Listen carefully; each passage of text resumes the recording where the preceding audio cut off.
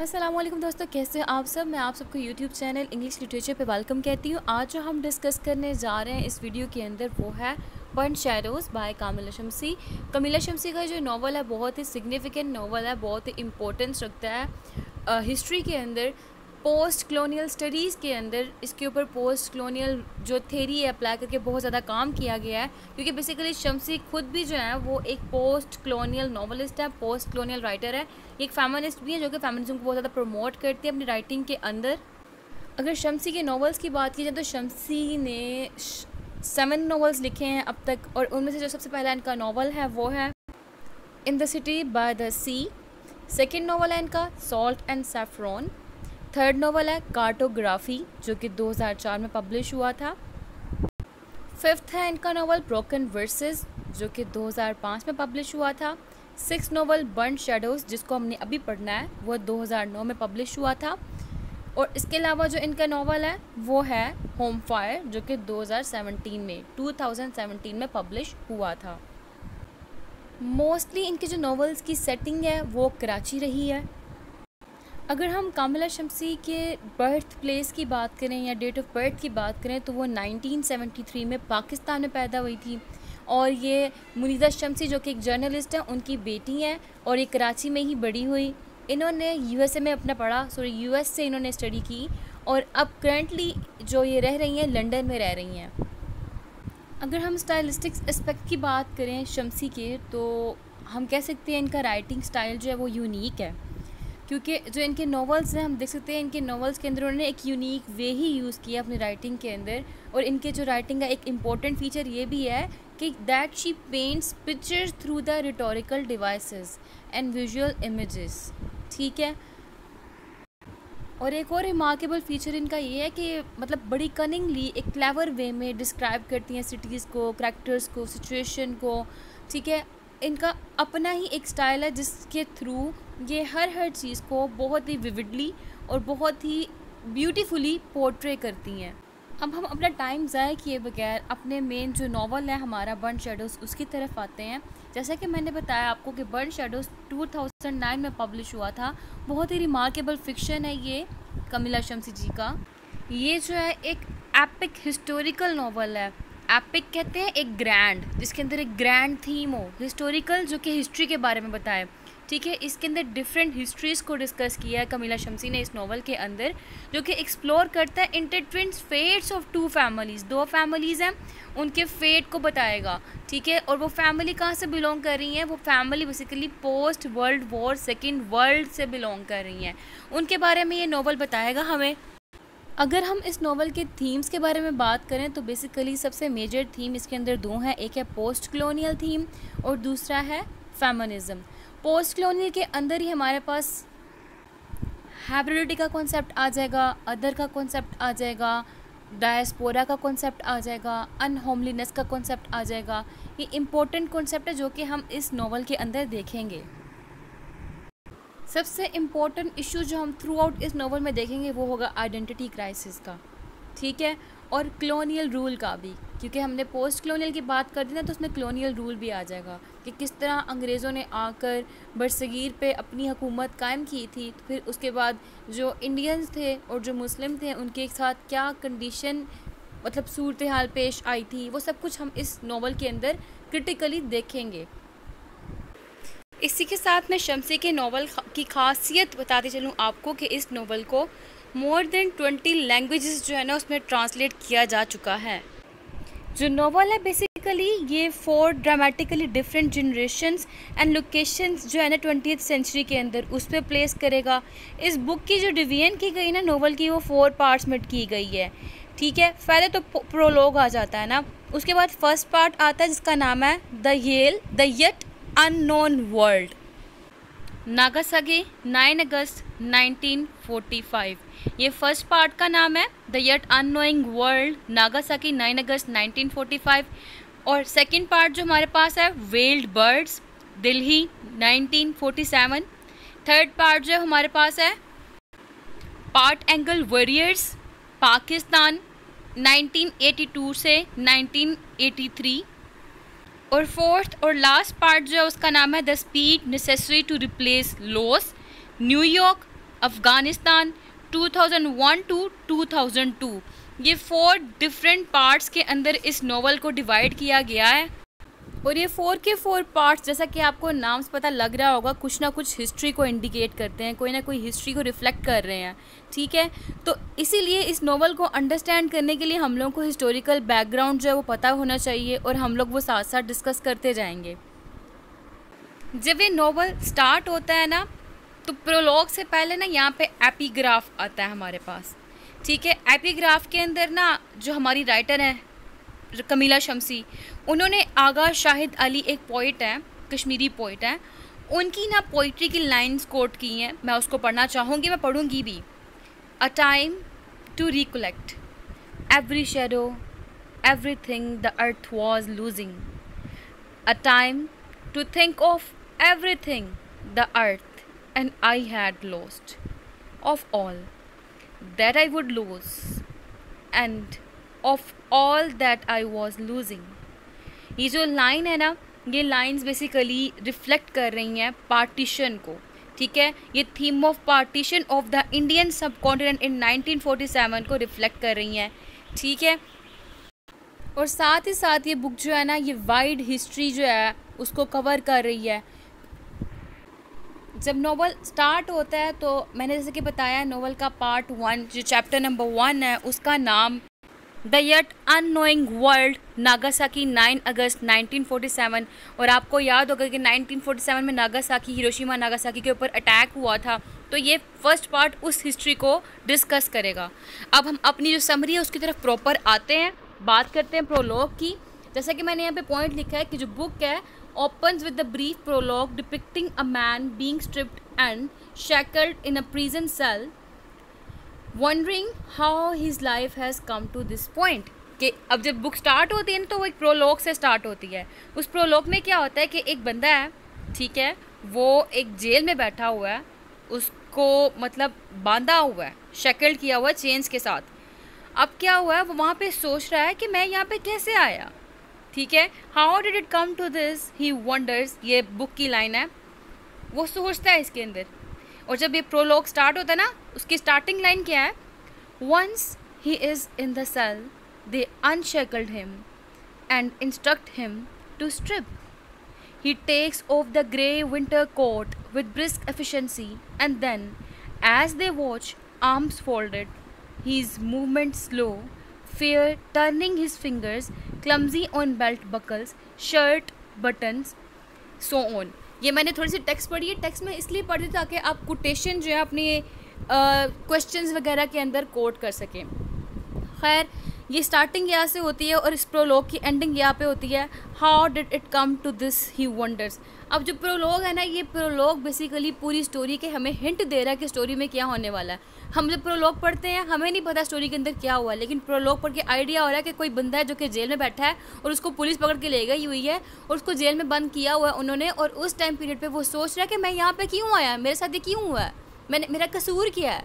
उस टाइम पे ये बंदा ये सोच रहा है जो कि जेल में बैठा हुआ है। अब ये कौन है? हमें शुरू से एंड तक नहीं पता अभी तक। डिस्कस करते हैं स्टोरी को। क्योंकि अब स्टोरी शिफ्ट होने लगी हमारे पहले part the yet unknowing world के ऊपर। नागासाकी 9 अगस्त 1945 में। अब क्या हुआ था कि आपको याद होगा कि जब वर्ल्ड वॉर सेकेंड हुई थी तो उस टाइम पीरियड पे यूएस ने ना दो न्यूक्लियर वेपन्स जो थे, वो जापानीज सिटीज़ के ऊपर हिरोशिमा और नागासाकी के ऊपर अटैक कर दिया था। ये अटैक जो थे ना सिक्स से लेकर नाइन अगस्त तक चलते रहे थे 1945 में।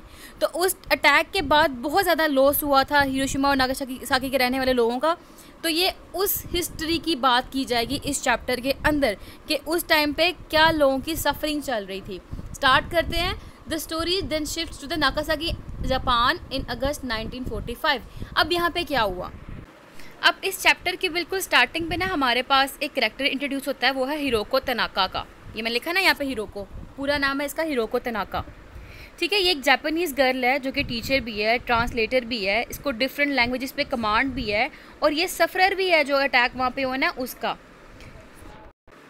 इसके फादर को ट्रेटर के नाम से मशहूर कर दिया गया था और इसकी मदर की डेथ हो गई थी। और इसकी मदर की जो डेथ हुई थी ना, उस टाइम इसके लास्ट वर्ड्स थे इसकी मदर के save my husband to go against himself और इसने ये लास्ट वर्ड्स अपनी बेस्ट फ्रेंड से कहे थे इसकी मदर ने। तो अभी हमारा कंसर्न हीरोको के साथ है, जो हीरोको का करेक्टर है, उसके साथ पता लग गया होगा आपको कि हीरोको कौन है। नेक्स्ट करेक्टर हमारे पास इसके अंदर इंट्रोड्यूस होगा, वो है कॉनरेड वेस का ठीक है? कॉनरेड जो है बेसिकली कौन है? एक जर्मन मैन है, जो कि बर्लिन से बिलोंग करता है और ये जापान में आया है अपनी प्रॉपर्टी को कैप्चरिंग करने के लिए और साथ ही साथ एक बुक लिखने के लिए। जो बुक थी, उसका टॉपिक था कोस्मोपोलिटियन ये हिरोको तनाका को एज अ ट्रांसलेटर अपने पास हायर कर लेता है और योशी नाम का एक बंदा है, जो कि कॉनरेड का फ्रेंड है। वो इंट्रोड्यूस करवाता है हिरोको तनाका को कॉनरेड के पास, ठीक है? और कॉनरेड और हिरोको जो हैं, वो इकट्ठे होते हैं हर टाइम पे। और उसके बाद कॉनरेड को हिरोको से मोहब्बत हो जाती है और कॉनरेड प्रपोज भी करता है हिरोको को। जो हिरोको है, वो एक्सेप्ट कर लेते हैं उसका प्रपोजल फिर उसके बाद दे बोथ इन लव अब जब ये दोनों, हिरोको को और कॉनरेड को मोहब्बत हो गई है तो इस टाइम पे ना कॉनरेड हिरोको के घर आता है। और उसके बाद कहता है कि मुझे ना फादर असानो है, उनसे मैंने ना कुछ बुक्स लेनी है तो उनके पास जाना है मुझे। ठीक है? तो हिरोको कहती है, ठीक है, चले जाओ। लेकिन हिरोको ना बड़ा उदास होती है उसके जाने पे। अब वो जब निकल जाता है घर से, उस टाइम पे हिरोको अपनी मदर का किमोनो निकालती है, वो पहनती है, उसके बैग पे थ्री क्रेन्स बनी होती हैं। अब वो पहनती है, वो पहन के ना विंडो से बाहर देखने की कोशिश करती है कि उसको बाहर कुछ नज़र आ जाए, यानी कि कॉनरेड नज़र आ जाए। उसको नज़र नहीं आता कॉनरेड चला जाता है आगे फादर असानो के पास। फादर असानो बेसिकली एक प्रीस्ट है, उनके पास जाता है वो। वो जब जाता है ना वहाँ पे, अब क्या हुआ है? हिरोको ने पहना हुआ है किमोनो और अचानक ही एक ब्लास्ट हो जाता है। जब ब्लास्ट होता है ना तो हिरोको की जो बैक है, पूरी ब्लड से भर जाती है और कॉनरेड जो होता है, वो उस ब्लास्ट में मर जाता है। कॉनरेड कभी वापस नहीं आता। अब यहाँ पे क्या हुआ कि जब हिरोको है, उसकी जब बैक जो है ब्लड से भर गई तो यहाँ से हिरोको को एक डिज़ीज़ हुई, वो थी पीटीएसडी अब जब लॉस तो हो गया, ठीक है, उसको डिज़ीज़ भी हो गई उस पे ना तब वो सोचती है कि मैं जो हूँ ना कॉन्ड्रेड की जो सिस्टर है ना आयल्स कॉन्ड्रेड की सिस्टर का नाम क्या है? Ilse I L S E कहती मुझे उससे मिलना चाहिए, मैं उससे मिलने जा रही हूँ। वो ना दिल्ली में रहते हैं, ठीक है? तो ना अब दोनों मतलब कि दोनों कह रही हूँ ये कॉन्ड्रेड की जो फ्योंसे थी हिरोको हिरोको जा रही है अब कॉनरेड की सिस्टर आयल से मिलने के लिए, ठीक? और आयल्स कहाँ पे रहती है? आयल्स अपने हस्बैंड के नाम अपने हस्बैंड के पास रहती है। उसका हस्बैंड जो, उसका नाम जेम्स बर्टन है और ये दिल्ली के अंदर है। और अब आयल्स ने अपना नाम बदल के एलिज़ाबेथ बर्टन रख लिया हुआ है। इतना क्लियर हुआ आपको? इसके बाद क्या होता है? नेक्स्ट पार्ट शुरू हो जाता है। सेकेंड पार्ट जिसका हमने नाम दिया था, वो था वेल्ड बर्ड्स का। दिल्ली 1947 एक और हिस्टोरिकल यहाँ पे इवेंट आने वाला है। कि 1947 में क्या हुआ था? दिल्ली में पार्टीशन हो गई थी ना, वो वाला टाइम दिखाया जाएगा यहाँ पे। अब क्या हुआ है कि ना टू इयर्स लेटर दो साल गुजर चुके हैं। नाइन अगस्त 1945 टू 1947 का टाइम पीरियड यहाँ पे दिखाया जा रहा है। एक शिफ्ट आ गई है ईयर के अंदर भी और प्लेस के अंदर भी। पहले यूराकमी जापान में था सेटिंग और अब क्या है? इंडिया की दिल्ली में सेटिंग है। जब ये चैप्टर स्टार्ट होता है फ़र्स्ट इसका तो वहाँ पे है हमारे पास सज्जाद अशरफ, ठीक? जिसका पूरा नाम है सज्जाद अली अशरफ। ये एक मुस्लिम बॉय है, ठीक है? और इसकी फैमिली जो है दिल्ली के अंदर कहाँ से आई थी? तुर्की से आई थी सेवन सेंचुरीज बिफोर और जब सज्जाद की फैमिली तुर्की से दिल्ली आई थी ना, तब दिल्ली का नाम दिल्ली नहीं, दिल्ली होता था। दिल वालों का शहर, दिल्ली। अब अब क्या हुआ है? अब ऐसा होता है कि हिरोको जो है ना, वो इंडिया में आती है, दिल्ली को विज़िट करती है, ठीक है? कॉन्डेड की डेथ हो गई Hiroko move to Delhi Hiroko Delhi आ गई, और यहाँ पे जो है ना, वो जेम्स बर्टन से और एलिजाबेथ बर्टन से और सज्जाद से मिलती है। लिखा है यहाँ पे? जेकोब जेकोब जेम्स का ही नेम है। वो खुश नहीं होता, ठीक है? जेकॉब इज़ नॉट हैप्पी क्यों हैप्पी नहीं है? हिरोको को देख के वो खुश नहीं होता। और वो उसको अपने घर भी लेके नहीं आना चाहता। अब यहाँ पे मैं आपको कुछ बातें बता दूँ। मैंने आपको बताया जेम्स का। ये कौन है? ये एक इंग्लिश मैन है। मैंने आपको बताया एलिज़ाबेथ का, जो कि इसका असली नाम आयज़ है। जर्मन से बिलोंग करती है। लेकिन इसने अपना नाम अब एलिज़ाबेथ बर्टन रख लिया हुआ है। जेम्स बर्टन से शादी करने के बाद। और एक इंपॉर्टेंट बात, ये स्टेप सिस्टर है कॉनरेड की। रियल सिस्टर नहीं है, स्टेप सिस्टर है। और मैंने आपको बताया सज्जाद का। सज्जाद कौन है बेसिकली सर्वेंट है बर्टन्स फैमिली का, जिसको कॉनरेड ने यहाँ पे ड्यूटी पे, काम पे लगवाया था। ठीक हो गया।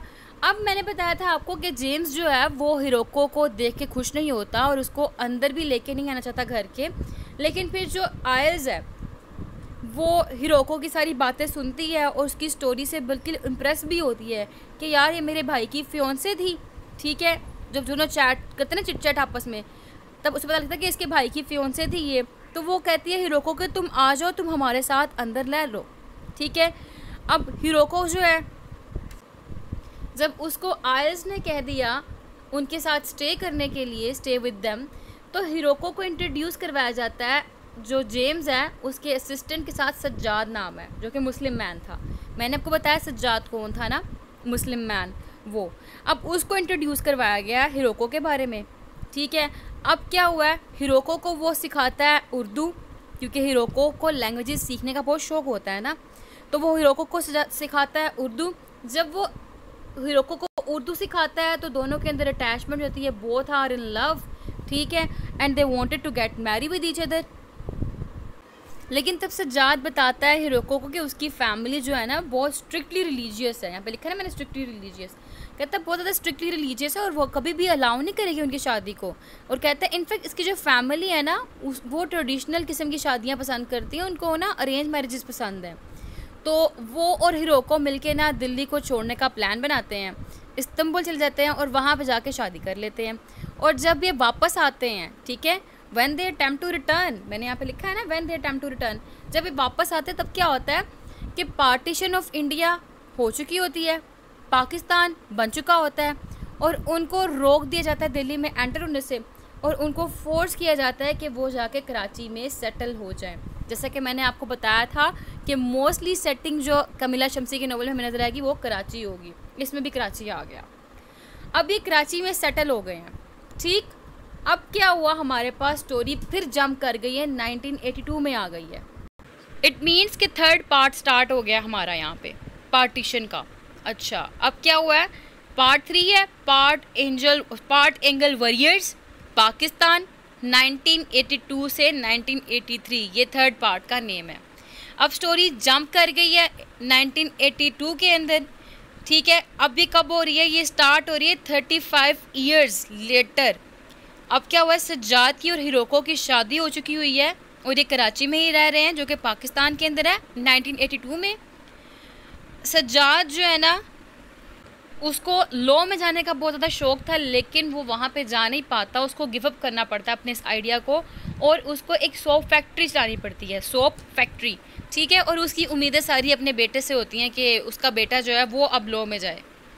हाँ जी, बिल्कुल, सज्जाद और हिरोको का बेटा पैदा हो चुका हुआ है। उसका नाम है रज़ा, और सिर्फ़ वो पैदा नहीं हो गया, बल्कि बड़ा भी हो गया, सोलह साल का है। Sixteen years old son Raza. ठीक है, बहुत अच्छा स्टूडेंट था, ठीक है। और उसके बाद जो है ना, इसका फादर चाहता था कि ये लॉ करे, लेकिन ये खुद लॉ में जाना नहीं चाहता था। ये खुद वकील नहीं बनना चाहता था। और इसलिए जब भी इसका टेस्ट होता था, और टेस्ट में जाने, जब ये जाता था तो क्या होता था, इसको एनजाइटी अटैक्स होते थे हर टाइम और इसी वजह से ये अपने एग्ज़ाम्स में रह जाता था, लेकिन इसका दोस्त था, ठीक है। वो उसने इजीली पास कर लिया and move on with their lives while Raza is force to wait for the next opportunity to take the test उसको इंतज़ार करना पड़ा रज़ा को, लेकिन इसका दोस्त था, दोस्त थे जो, वो निकल गए आगे। अब क्या होता है? अब ना रज़ा की लाइफ के अंदर ट्विस्ट आने वाला है। फ़िश मार्केट इम्पोर्टेंट प्लेस यहाँ पे ना रज़ा की दोस्ती होती है, एक बंदा है, एक लड़का है, उसका नाम अब्दुल्ला है। वो एक अफ़गान है, ठीक है? अफ़गानी बंदा है, उससे इसकी दोस्ती हो जाती है रज़ा की। और ये कहाँ मिलते हैं? ये फ़िश मार्केट में मिलते हैं। अब्दुल्ला और रज़ा, इनको काइट्स का बड़ा ज़्यादा शौक़ होता है, ठीक है? काइट फ्लाइंग करते हैं। एक दिन रज़ा जो है ना, काइट की डिमांड करता है तो उसके बाद जो है ना, अब्दुल्ला मिसअंडरस्टैंड करता है रज़ा को और उसको गन वगैरह दिखा देता है। और साथ ही साथ अब्दुल्ला को जब वो गन दिखाता है और अपने साथ उसको मिलिट्री ट्रेनिंग में ले जाता है। और वो रज़ा को मुजाहिदीन के बारे में बताता है, ठीक है? और साथ ही साथ ना वो बताता है ट्रेनिंग कैंप के बारे में that how to learn to fight the Soviets ये जो वो लोग जो इन्वेड करने वाले अफ़गानिस्तान के अंदर, उनसे कैसे आपने लड़ना झगड़ना है? वो सारा आपको अफ़गानी जो है ना, आपको ट्रेन कर देंगे जो मुजाहिदीन है। अब रज़ा जो है वो तो एग्री हो जाता है अब्दुल्ला के साथ जाने के लिए कि वो तुम्हारे साथ ट्रेनिंग कैंप में जाएगा, कहता है उसको। अब उस टाइम पे ना यहाँ पे नोवेल के अंदर हैरी बर्टन का एक करेक्टर आता है, जो कि बेटा किसका है? जेम्स का और आयल्स का, ठीक है? मैंने यहाँ पे जकोब लिखा है, वही जकोब जेम्स का ही नेम है। तो अब वो जो है ना, सज्जाद और हिरोको को मिलने के लिए आता है, उस टाइम पे। अब वो जब मिलने आता है, क्योंकि हैरी बर्टन जो है बेसिकली एक इंग्लिश मैन है और यहाँ पे अफ़गान का और इंग्लिश मैन का क्लैश चल रहा था। और उसी टाइम पे जो रज़ा है, वो अब्दुल्ला के साथ चला गया कैंप के अंदर, जहाँ पे मुजाहिदीन थे। जब वो कैंप में चला गया ना, अब वहाँ पे क्या हुआ, जो अफ़गानीज थे, उनको लगा कि जो रज़ा है, इसकी एफिलिएशन है अमेरिकन के साथ हैरी बर्टन के साथ, जो कि बेटा किसका था? आयल्स का और जेम्स का। और रज़ा की फैमिली को मिलने आया था। अब वो जो है, रज़ा को जाने नहीं देते, रज़ा को अपने पास रख लेते हैं। लेकिन उस टाइम पे सज्जाद बड़ा परेशान होता है अपने बेटे को लेके, क्योंकि रज़ा काफ़ी दिनों से घर वापस नहीं आया। और सज्जाद अपने बेटे रज़ा की बड़ी तलाश करता है। ठीक है, Sajjad searches the fish market every day for the signs of Raza. लेकिन वहाँ पर क्या हुआ? वहाँ पर एक दिन ऐसा होता है कि रज़ा का जो बाप है, सज्जाद फादर है ना उसका उसको एक जगह से एक मैन जो है ना सस्पिशियस था उसको कि सस्पिशंस थे उसके सज्जाद के ऊपर कि इसका कोई ना अमेरिकन से ना ताल्लुक है, ये बंदा सही नहीं है। वो गोली मार देता है, वहाँ सज्जाद की डेथ हो जाती है। ठीक है? अब यहाँ पे नोवेल में क्या हुआ? नोवेल में सज्जाद की डेथ हो गई है। ठीक है? और जब सज्जाद की डेथ होती है, उसके बिल्कुल थोड़ी देर बाद रज़ा वापस घर आ जाता है। ट्रोमा एक वाइफ के लिए, एक वाइफ का हस्बैंड डेथ एक बेटे का बाप डेथ ठीक है? मर गया है. तो यहाँ पे जो है हमारा पार्ट थ्री जो था नोवेल का, वो भी एंड हो जाता है. और साथ ही साथ फिर हमारा नेक्स्ट पार्ट जो कि 2001 ठीक है, उसकी हिस्ट्री पे बेस करता है. नाइन अलेवन के अटैक के ऊपर बेस करता है. उसके बाद जो मुसलमानों के साथ सूरत हाल थी, उसके ऊपर बेस करता है, वो स्टार्ट हो जाता है. जिस पार्ट का नाम है the speed necessary to replace loss New York city Afghanistan 2001 to 2002 अब यहाँ पे क्या हुआ है? यहाँ पे हैरी का हो जाता है मर्डर ठीक? और जब हैरी का मर्डर हो जाता है ना तो सारे शक वगैरह रज़ा के ऊपर जाते हैं। क्योंकि हैरी जो है, काम कर रहा होता है रज़ा के साथ, Raza is working with Harry ठीक है? मिलिट्री कॉन्ट्रैक्टर के तौर पे काम करे होते हैं अफ़गानिस्तान के अंदर, यहाँ पे कोई हैरी को शूट कर देता है, उसकी डेथ हो जाती है। जब डेथ हो जाती है तो फिर सारे सस्पिशंस जो है ना, वो हैरी के ऊपर होते हैं। और हैरी को अफ़गानिस्तान से अब निकल जाना चाहिए, ये वो सोचता है। अब क्या होता है न्यूयॉर्क में जो है ना, किम नाम की एक लड़की है और ये किम कौन है, ये किम बेसिकली हैरी की बेटी है। हैरी किसका बेटा था? जेम्स का और आयल्स का। ऐसे ही है ना, अब जो किम है वो किसकी बेटी है? हैरी की। तो अब क्या हो रहा था, अब ना जो आयल्स है और साथ में हिरोको है, वो इकट्ठे रह रहे होते हैं। ठीक है? और वहाँ पे क्या होता है, किम जो है ना, हैरी की बेटी अक्सर उनसे मिलने के लिए आती है। अब हैरी और जो रज़ा थे, मैंने आपको बताया, जैसा कि वो इकट्ठे चल रहे थे तो वहाँ पे अटैक हो गया हैरी के ऊपर और रज़ा के ऊपर सारे सस्पिशियस चल पड़े। और रज़ा तो था, उसको पता था कि अब उसने यहाँ से निकलना है, खुद की जान बचानी, क्योंकि अब वो अंडर सस्पिशंस आ चुका हुआ है। तो तब क्या होता है रज़ा सोचता है अब्दुल्ला के बारे में भी। और वो सोचता है कि मैंने अब्दुल्ला को ढूंढना है उससे रीयूनाइट होना है, उसको मैंने पता पता लगाना है वो कहाँ पर है। वो अब्दुल्ला को देखता है, ढूंढता है जगह जगह तो उसको फाइनली अब्दुल्ला वहाँ पे मिल जाता है कि वो ड्राइविंग के तौर पे वहाँ पे काम कर रहा है। और वो कोशिश करता है कि रज़ा जो है ना, अब्दुल्ला को यहाँ से टैक्सी ड्राइवर के जहाँ पे जॉब कर रहा है ना न्यूयॉर्क सिटी के अंदर, निकाल दे। यहाँ से निकाल के इसको इसके अपने शहर जो है वापस भेज दे। ठीक है? और ना हीरोको और रज़ा मिलकर ना उसको निकालने की कोशिश करते हैं स्मगल करने की कोशिश करते हैं। और जब वो उसको बॉर्डर से स्मगल करने की कोशिश करते हैं ना, तब किम कहते हैं कि मैंने भी साथ जाना है, मैं जो अब्दुल्ला को वहाँ से बचाना चाहती हूँ। मैं जो रज़ा को भी बचाना चाहती हूँ, इनकी मदद करना चाहती हूँ। लेकिन जब वो वहाँ पे अब्दुल्ला को देखती तो उसको अब्दुल्ला को देख के शक होता जैसे एक टेररिस्ट है। और तब जो जो किम है, वो कॉल कर देती है न्यूयॉर्क पुलिस को। न्यूयॉर्क और वहाँ से अब्दुल्ला तो बच जाता है, लेकिन न्यूयॉर्क पुलिस जो है, वो रज़ा को पकड़ लेती है।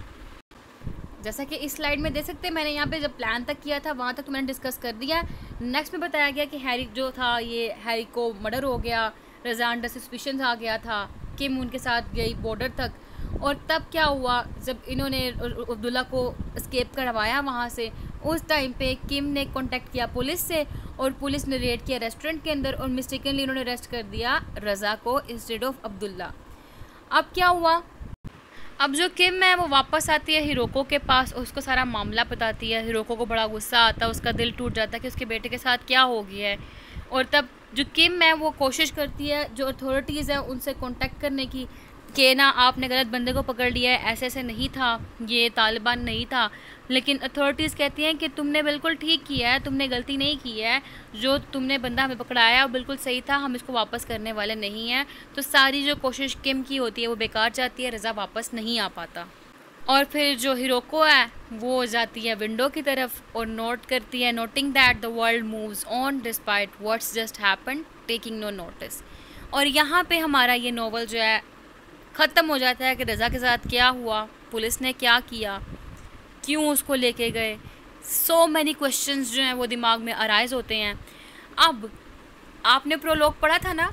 जब राइटर ने प्रोलॉग डाला, उसके अंदर एक बंदा जेल में था और जब नोवेल एंडिंग हुआ तो एक बंदे को जेल में लिया गया, ठीक है, ले जाया गया ना तो इससे लगता है शायद जैसे कि वो रज़ा ही था। बाकी कंक्लूजन जो है हमने खुद निकालना है, यहाँ पे हमारी स्टोरी हुई ख़त्म। Thank you so much for watching this video please subscribe this channel दुआओं में याद रखिएगा। अल्लाह हाफिज़।